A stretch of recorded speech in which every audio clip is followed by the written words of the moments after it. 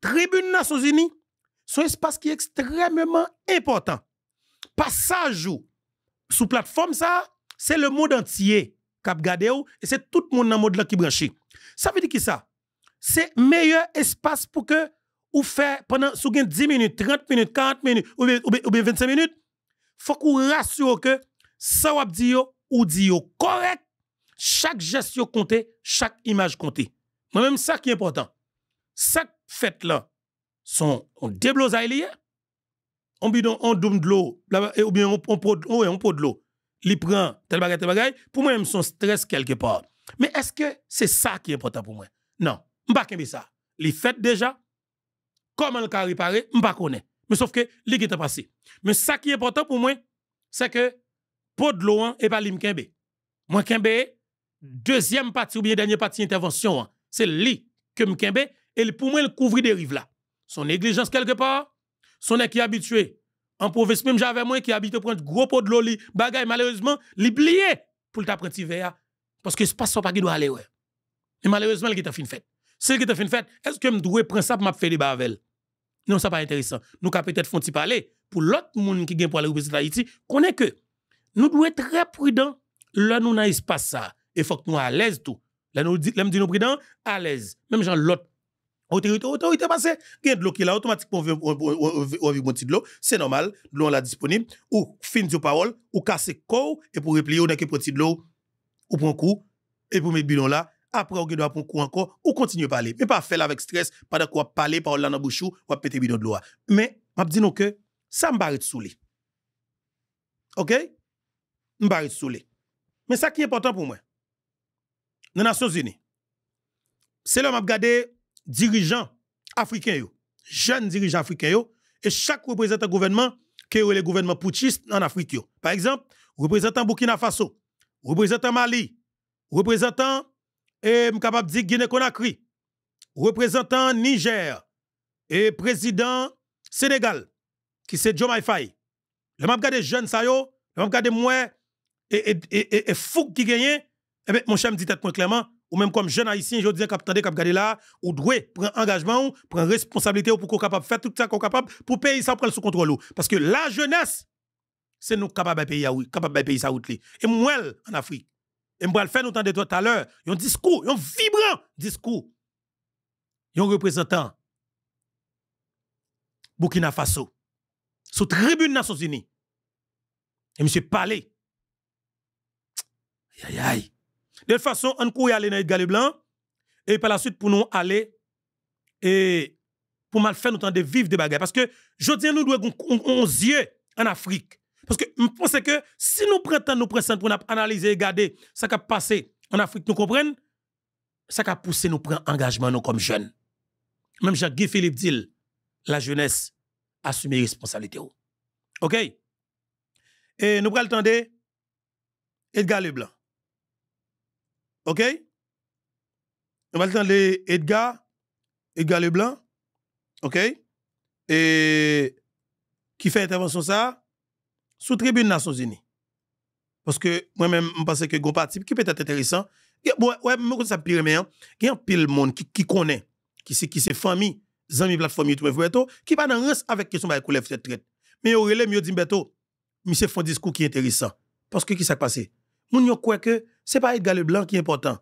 Mais c'est alors c'est Haïti qui représente à qui est important pour eux. C'est moun qui parle de Haïti qui est important. Eh ben nous Edgar Leblanc fils eh ben qui pral faire apparition là sous tribune Nations Unies dans New York et dans date qui était 26 septembre 2024 là. M'pa jamais oublier ça, c'était jour fête moi monsieur fait discours ça, eh ben moi-même pense que deuxième partie dans discours est important, mais première partie discours il dérange.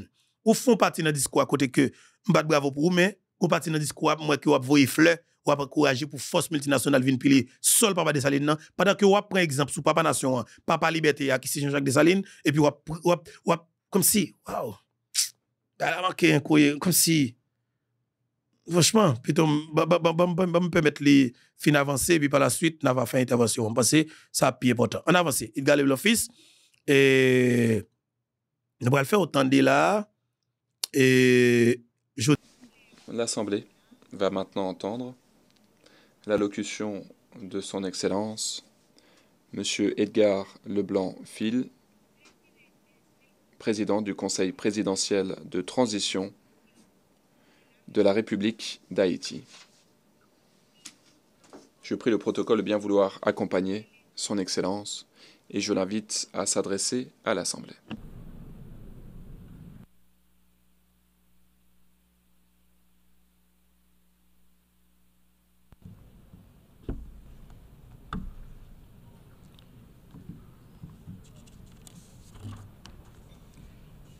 Excellence, Monsieur le Président de l'Assemblée générale, Monsieur le Secrétaire général des Nations unies, Excellences, Mesdames, Messieurs les chefs, j'ai l'immense honneur de représenter ici à la tribune de l'Assemblée générale des Nations unies, à un carrefour particulier de son histoire, le peuple haïtien, digne et fier, qui malgré les tempêtes de tous ordres, a toujours su se relever première république noire du monde, Haïti porte dans ses entrailles la fierté d'une lutte héroïque pour la liberté et la dignité humaine.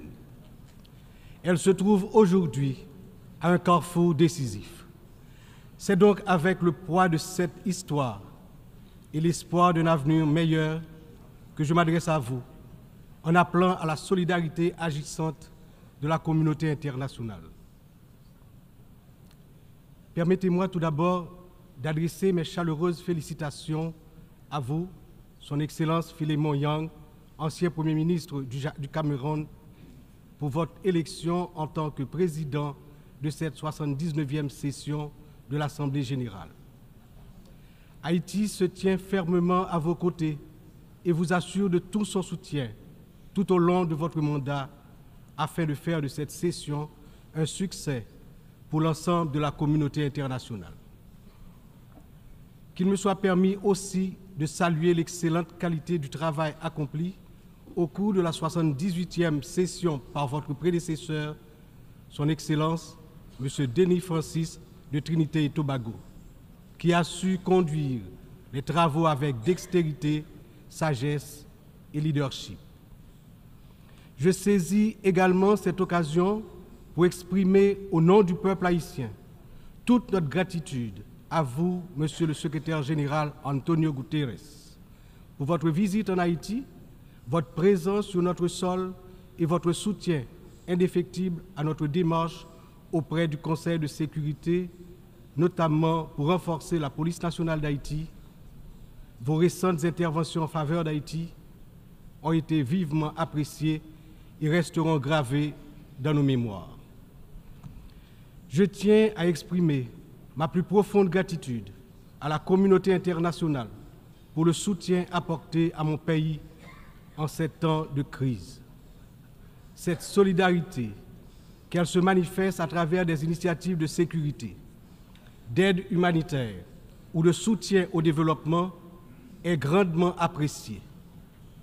Par cette coopération continue et mieux adaptée, Haïti se remettra plus forte plus résiliente et engagera confiante sa marche assurée vers le développement et le progrès.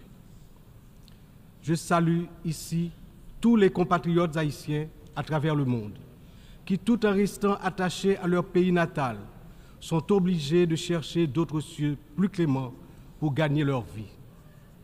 Tout le monde reconnaît qu'ils sont de rudes travailleurs. Je veux leur dire, partout où ils se trouvent, que le Conseil présidentiel de transition et le gouvernement pensent à eux en attendant que les conditions soient réunies pour qu'ils reviennent au bercail. J'en profite pour saluer Amnesty International et d'autres organismes opérant dans le domaine de la défense des droits humains qui suivent de près les violations des droits des migrants haïtiens à travers le monde. Je me permets, au nom du peuple haïtien, de saluer fraternellement tous les amis d'Haïti qui ont fait preuve de solidarité envers les migrants de notre pays, en particulier ceux résidant à Springfield dans l'Ohio aux États-Unis. Très bien. La longue histoire d'amitié et de solidarité réciproque entre nos deux nations depuis notre participation à la bataille de Savannah en 1779 nous permet de dire avec confiance que le peuple américain rejette toute incitation à la haine contre notre communauté.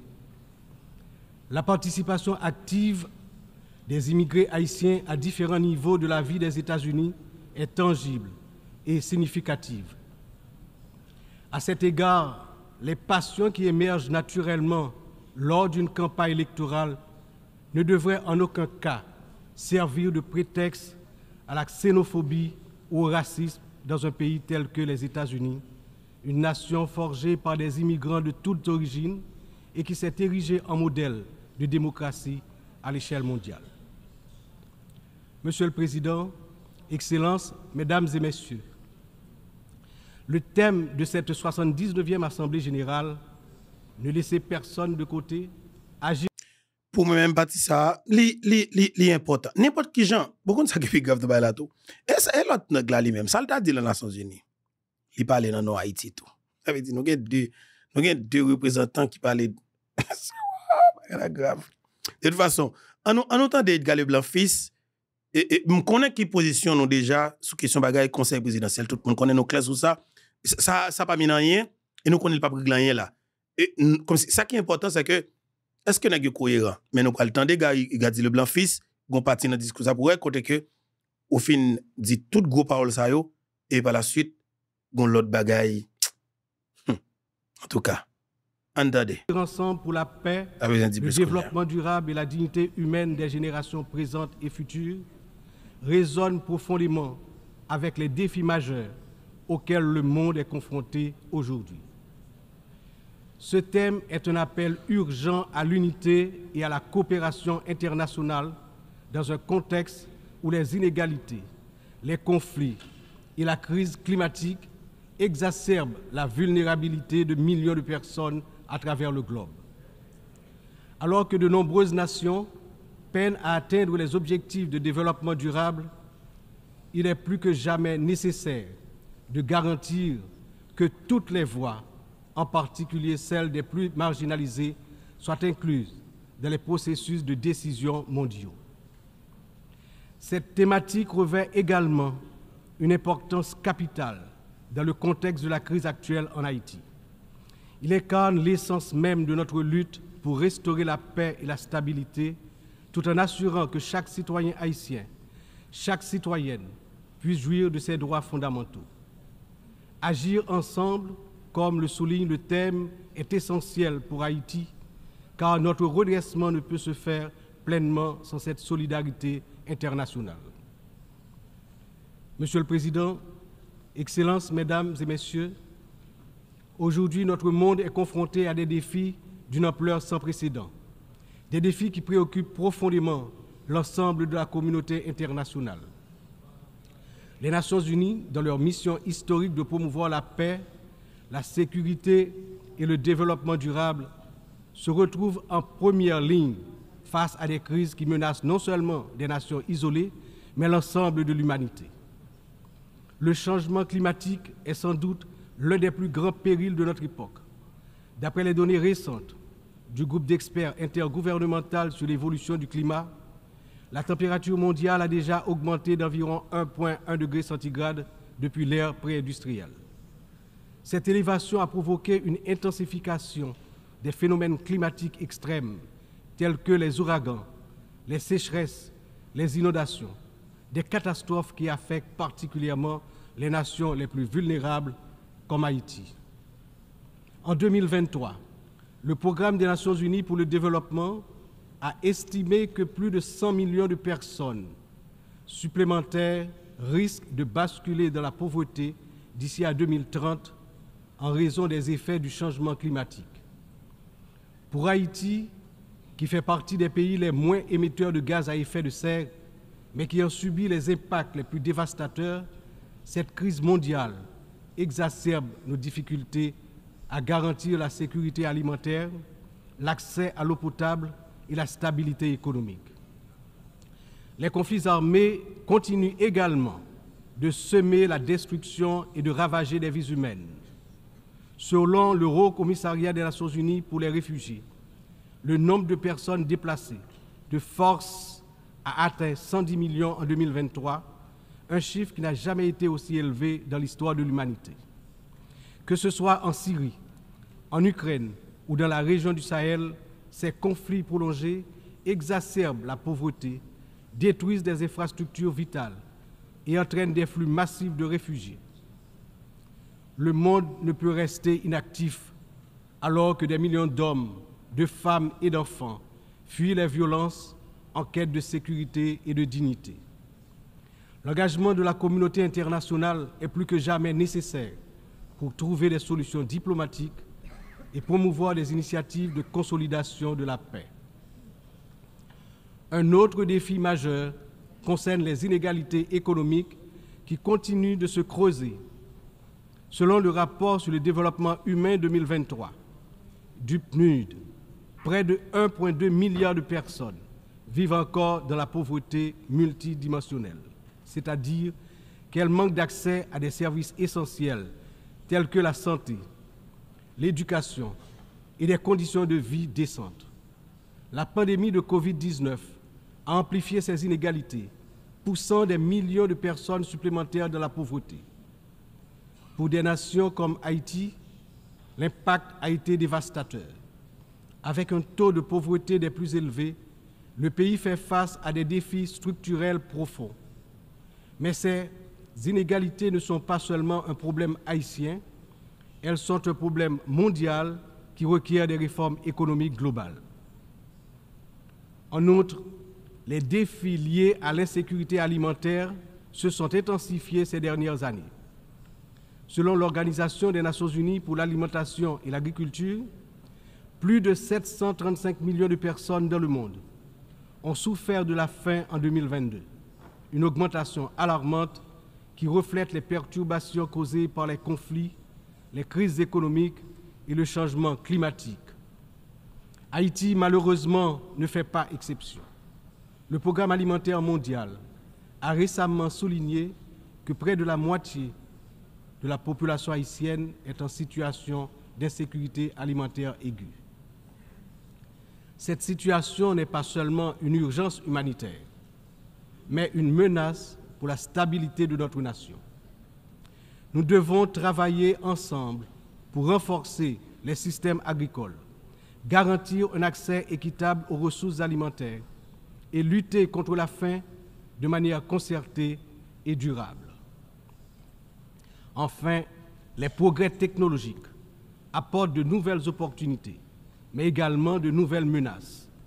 L'accélération du développement de l'intelligence artificielle, la prolifération des cyberattaques, la désinformation mettent en danger la stabilité des démocraties à travers le monde.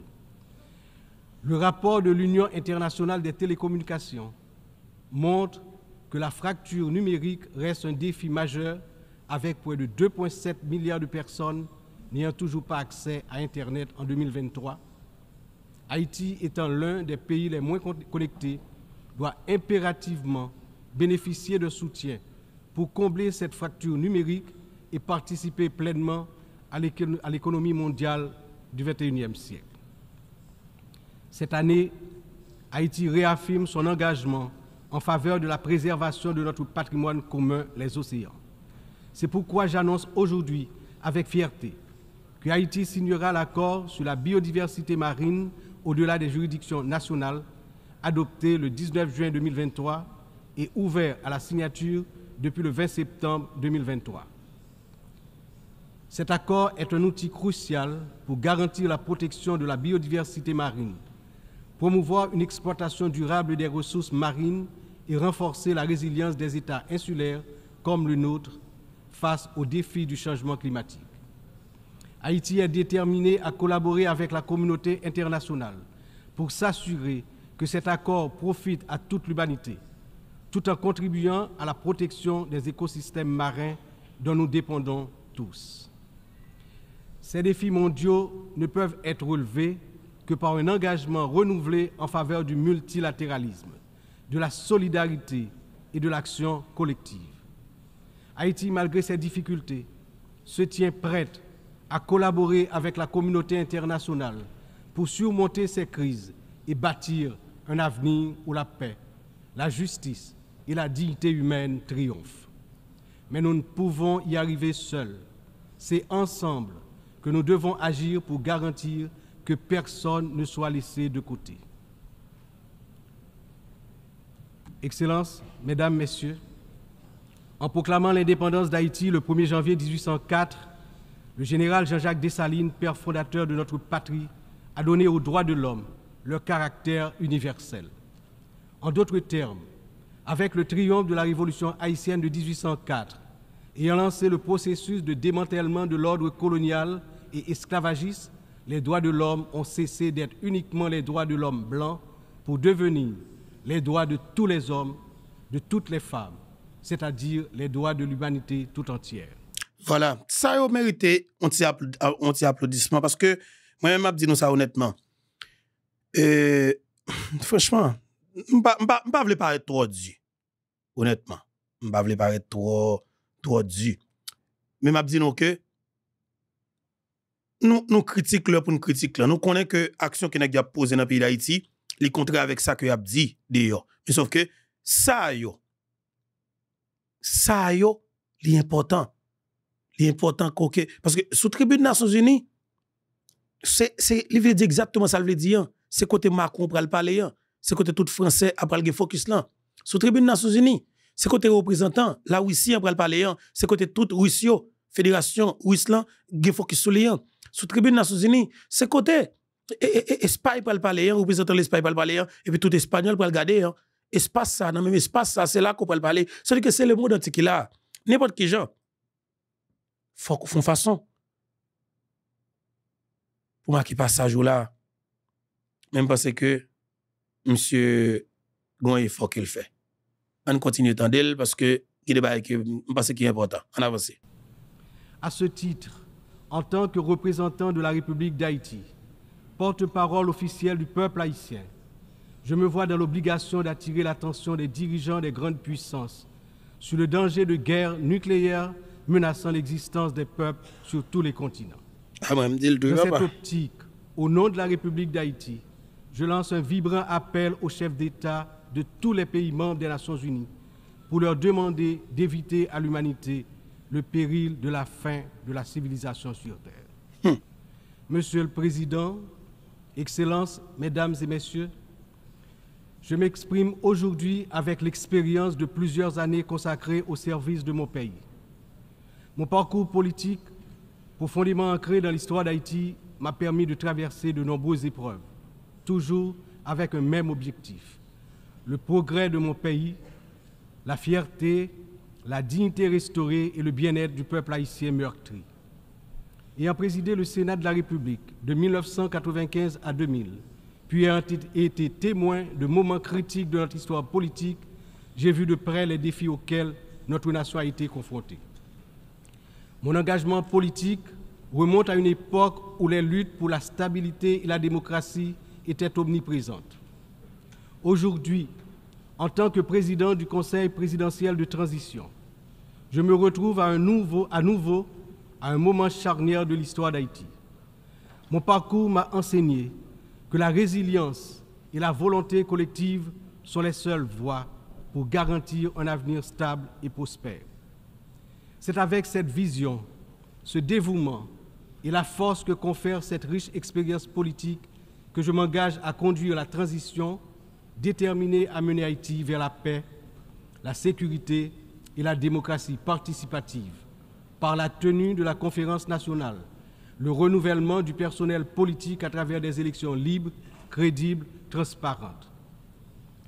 Le peuple haïtien, malgré ces épreuves auxquelles il est confronté, refuse de se laisser submerger par le désespoir. Des défis d'une ampleur sans précédent, une violence dévastatrice, une instabilité politique persistante, une précarité quasi générale et une pauvreté dégradante se pose à son intelligence et à ses capacités d'action. Au milieu de cette tempête, il a compris qu'il lui fallait prendre une décision courageuse, celle de se mettre ensemble, de s'unir malgré les différences profondes pour pouvoir se relever et se mettre en marche, en toute confiance, vers la sortie de la crise multidimensionnelle qui l'afflige depuis déjà trop longtemps. La création du Conseil présidentiel de transition est une matérialisation de cette décision, un exemple tangible de cette volonté de se réconcilier avec soi-même. Ce Conseil qui rassemble organisations de la société civile et toutes les tendances politiques du pays est le fruit de longues négociations. Il incarne la pluralité de la société haïtienne. Sa feuille de route est claire. Restaurer la sécurité publique, organiser des élections libres, transparentes à la fin de l'année 2025, rétablir la confiance dans les institutions de l'État. Pour y parvenir, nous, responsables au plus haut niveau de l'État, savons que nous aurons besoin du soutien de la communauté internationale. Mais d'abord, nous devons compter sur nous-mêmes, sur notre résilience, notre capacité à surmonter les, divisions internes. Il est important de souligner que la résolution des problèmes d'Haïti repose avant tout sur les épaules du peuple haïtien. Il est de notre devoir, en tant que nation souveraine, de prendre en main notre destin, de surmonter les divisions et de construire ensemble un avenir de paix et de prospérité. Cependant, cette responsabilité n'incombe pas seulement à nous, la communauté internationale, les Nations Unies, les puissances étrangères qui ont souvent joué un rôle décisif dans l'histoire d'Haïti ont également une part essentielle dans ce processus de restauration de la paix, de redressement économique, de, de renouvellement institutionnel et d'établissement d'un État de droit. En ce sens, l'échec d'Haïti à se relever n'est pas seulement celui d'une nation. Il traduit un échec collectif, une incapacité mondiale à respecter pleinement les principes de solidarité, de justice et de coopération internationale. C'est ensemble, avec une responsabilité partagée et un engagement renouvelé, que nous pourrons transformer cette crise en opportunité et tracer une voie durable vers la paix. Aujourd'hui, Haïti fait face à une crise sécuritaire d'une gravité sans précédent. La montée en puissance des gangs armés, la violence généralisée, l'instabilité politique ont plongé la nation dans un état de vulnérabilité extrême. Les citoyens vivent dans la peur, incapables de circuler librement partout sur le territoire national, d'aller travailler ou d'envoyer leurs enfants à l'école sans risque, notamment dans la région métropole de Port-au-Prince, la capitale. Cette situation affecte tous les aspects de la société haïtienne, fragilise les institutions, paralyse l'économie, mine l'espoir de lendemain meilleur. L'avenir du pays est menacé. 50% de l'effectif des gangs de la région de la capitale sont constitués d'enfants et d'adolescents, filles et garçons. Ils servent souvent de chair à canon lors des opérations contre les forces de l'ordre. Ils sont l'objet de graves violences de toutes sortes, y compris des violences sexuelles. Ces abus et violences exercés contre des enfants et des adolescents doivent être considérés comme un crime contre l'humanité, compte tenu de leurs conséquences sur les générations à venir. Le rétablissement de la sécurité nationale est une priorité absolue pour les autorités haïtiennes. Elles sont pleinement engagées à mettre fin à cette spirale de violence et à restaurer l'ordre afin de garantir à chaque citoyen, à chaque citoyenne, le droit fondamental à la sécurité. Elles sont conscientes que la paix et la stabilité sont les fondements indispensables pour permettre à Haïti de se redresser, de rétablir la confiance dans ses institutions, d'assurer le développement socio-économique du peuple. Dans cette optique, la décision du Conseil de sécurité d'autoriser le déploiement de la mission multinationale d'appui à la sécurité à travers la résolution 2699 a été une réponse directe aux appels du peuple haïtien. Cette mission, bien que n'étant pas une force onusienne classique, incarne l'engagement de la communauté internationale à soutenir Haïti dans sa lutte contre l'insécurité. J'exprime au nom du peuple haïtien ma profonde gratitude aux États contributeurs, notamment au Kenya, pour avoir accepté d'assumer le leadership de la mission, ainsi qu'à tous les pays qui ont apporté leur soutien. Les forces de sécurité nationale avec l'appui de la mission, ont déjà montré des résultats tangibles sur le terrain permettant à la population de retrouver progressivement une certaine normalité. Ça, c'est là, et parti ça, et, et, que Edgar Leblanc, pour moi-même, voyez fleur, ça va intéressant, ça va bon, va menti. Ça, c'est menti. OK? Ça va même pas quitter ça passer. Je pas envie de dire trop bagarre, mais sauf que ça pas vérité. C'est juste pas vérité. OK? C'est juste pas vérité. En tout cas, comme c'est écrit, il y a écrit, qu'on est. Beaucoup, néanmoins, reste encore à faire. Haïti a accueilli plusieurs missions des Nations Unies au cours des trois dernières décennies, notamment la MINUSTA. Si certaines de ces missions ont contribué à stabiliser temporairement le pays, elles ont également laissé un héritage lourd de conséquences. Des allégations de violations graves des droits humains, y compris des abus sexuels, ont ébranlé la confiance du peuple haïtien.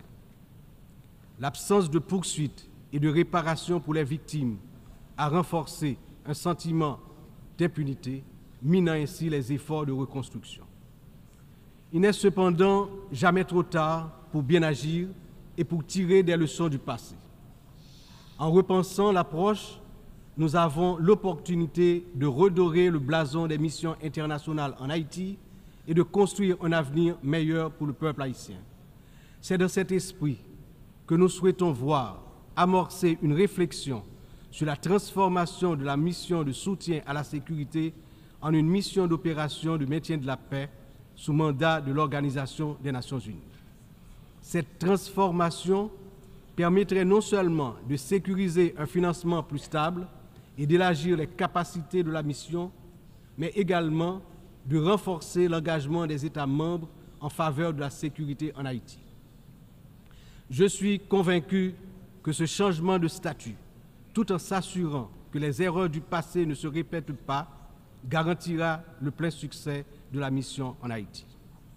Excellences, Mesdames et Messieurs, je me tiens aujourd'hui devant cette Assemblée en tant que voix de la République d'Haïti, pays dont l'histoire est inextricablement liée. Et parti ça dans le discours, m'a invité nous tendre avec un pile intérêt, d'accord? C'est parti ça et c'est dernier tour. Aux idéaux de liberté et de justice que nous célébrons tous ici. Mais Haïti, la première nation noire indépendante du monde, est aussi la grande victime d'une injustice historique qui a non seulement retardé son développement, a aussi marqué son peuple d'un fardeau dont les répercussions se font encore sentir. Mhm. En 1825, à peine 21 ans après avoir gagné sa liberté au prix d'une lutte héroïque, Haïti a été contrainte de payer une dette colossale à la France, pays colonisateur, en échange de la reconnaissance de son indépendance. Cette rançon imposée sous la menace a siphonné les ressources de la jeune nation, la plongeant dans un cycle infernal d'appauvrissement dont elle peine toujours à sortir. Cette dette a été une forme de punition pour sa hardiesse à se libérer des chaînes de l'esclavage et hisser l'être haïtien à la dignité de l'homme. Mm-hmm. a été une pénalité injuste qui a asphyxié le potentiel économique et social du peuple noir d'Haïti pendant des générations. Dans le contexte d'aujourd'hui, où plus que jamais, l'attention est portée sur les efforts pour restaurer sans délai la sécurité et répondre aux immenses besoins humanitaires en Haïti, il me paraît important d'attirer l'attention de l'Assemblée sur les séquelles du passé colonial et des rançons payées à certaines puissances qui ont largement hypothéqué le développement d'Haïti. Il n'est pas sans intérêt de rappeler qu'Haïti a été le seul pays avoir payé pour son indépendance obtenue pourtant dans le feu et dans le sang. À la veille du bicentenaire de cet événement inédit dans l'histoire du monde, n'est-il pas venu le, moment de la restitution des montants consentis? À cet égard, mon pays s'est félicité des propositions formulées des propositions formulées par un certain nombre de gouvernements et également certaines agences des Nations Unies pour des actions concrètes en vue de la reconnaissance, la réparation et la restitution des torts du passé. Partie ça extrêmement intéressant.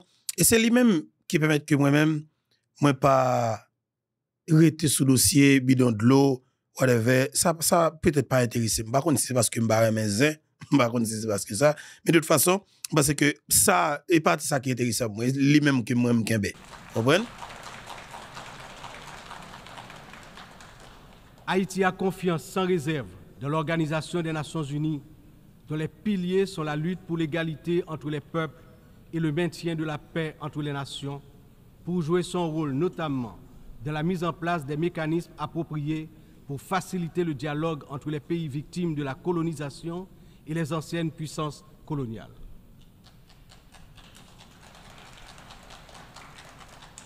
Ici, à cette 79e session de l'Assemblée générale, Haïti est par mon, par mon entreprise, Haïti est par mon entreprise, non pas simplement pour revendiquer une réparation, mais pour poser une question de principe, celle de la justice immanente. Ma démarche est résolument engagée, structurée et bien documentée. Le Comité national de restitution et réparation, en collaboration avec la Commission des réparations de la CARICOM, a déjà entrepris des travaux exhaustifs sur ce sujet. Nous demandons la reconnaissance d'une dette morale et historique et la mise en œuvre de réparations justes et appropriées qui permettront à notre peuple de se libérer des chaînes invisibles de ce passé injuste. Voilà. Voilà, entièrement d'accord et applaudi. Et, alors, Edgar Leblanc, qui fait office du président, conseil présidentiel que nous connaissons nous connaissons les Haïti. Hein. Mais maintenant, comment pour une tête non? Il faut que nous quittions l'hypocrisie de côté. À partir de maintenant, l'État pays d'Haïti doit tourner sous décision côté que il va envoyer des soldats. Des soldats à prendre formation dans le pays de la France. Là, il faut nous cohérents. Nous ne pouvons pas dire que nous prenons voyer militaires nous prendre formation dans le pays de la France pendant que nous demandé restitution, nous demandé l'argent nous, qui ont fait nous payer mal pour l'indépendance. Messieurs, dames, et pas n'importe bagaille ça y est. N'a parlé de des, des, milliards de dollars américains. En pendant que ça, ou entre la donne la Sine t'avle prendre au sérieux, et puis pour soldats nous militaires nous, qui, qui militaire? Militaire l'armée d'Haïti, qui l'armée? L'armée, nous c'est l'armée indigène nous qui te, qui te, qui te combattre. les Français pour nous être capables de libérer, soutenir dans, l'esclavage? Monsieur, dames, si nous songeons l'histoire, nous, mais si nous vrais, être cohérents, il faut que nous, nous, nous, nous regardions les bagailles. Nous avons un soldat qui a formation dans n'importe l'autre pays, mais il n'est pas, qu'à la France. Il n'est pas qu'à la France, il n'est pas droit la France. On tourner sur ça. Excellences, Mesdames et Messieurs, l'histoire nous enseigne que les nations ne se relèvent pas dans l'isolement, mais dans l'union des forces, dans l'engagement résolu à bâtir un avenir commun. Haïti, cette terre qui a offert au monde un symbole de liberté inébranlable et qui a aidé plusieurs nations à se libérer du joug du colonialisme barbare, ne cherche pas la charité. Voilà. Mais la justice, le respect.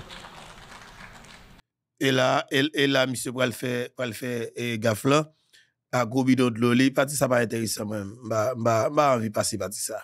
Les défis auxquels nous sommes confrontés aujourd'hui sont certes immenses, mais ils ne sont pas insurmontables. Il exige de nous tous une vision partagée, un sens profond de notre humanité commune et la détermination à transformer les crises en occasion de renouveau. Chaque nation, grande ou petite, riche ou vulnérable, porte une part de l'avenir collectif entre ses mains. C'est dans cette indépendance, interdépendance, que réside la force véritable du multilatéralisme. Que ce débat général soit le moment où nous réaffirmons notre engagement indéfectible envers la paix, la dignité humaine et le développement durable, car ce que nous faisons aujourd'hui résonnera dans les siècles à venir. L'histoire jugera la manière dont nous aurons su répondre aux défis de notre temps. Ensemble, dans un esprit de solidarité et de coopération, nous pouvons et nous devons construire un avenir où aucun peuple, aucune nation ne sera laissé pour compte. Vive Haïti! Vive la coopération internationale. Demain, un autre pays. Demain, un autre monde. Voilà, merci en pile. Et c'était Edgar Leblanc. Pour moi-même, son discours qui est bourré avec émotion, parti ça. Et, et c'est un parti pour moi-même, non seulement M. Abdil, mon senti et, et, et, et monsieur, comme c'est Andal qui a parlé là maintenant.